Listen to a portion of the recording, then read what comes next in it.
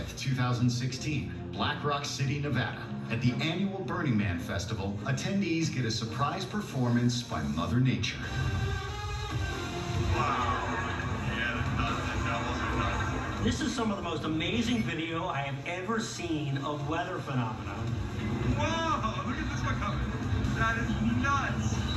It's so clear that the weather phenomenon, the dust devils, is being generated by this man-made phenomenon, this bonfire that they have at uh, Burning Man out there in the desert. So they set this big thing on fire, and then you get this tremendous amount of rising air. And it's rising extra fast because you have the warm air from the fire right next to the cool air from the early morning hours there in the desert.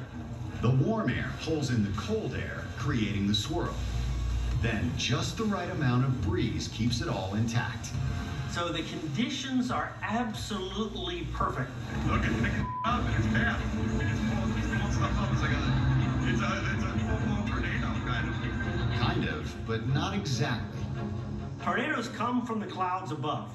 This is formed from the ground up. Wow, this one coming down. Winds usually don't get above those of an EF0 tornado, dust devils can still pose a serious risk. There's something flying around in the air, something small, light, and sharp, you could get hurt. But what a sight. Just an incredible sight. And to think that they made it.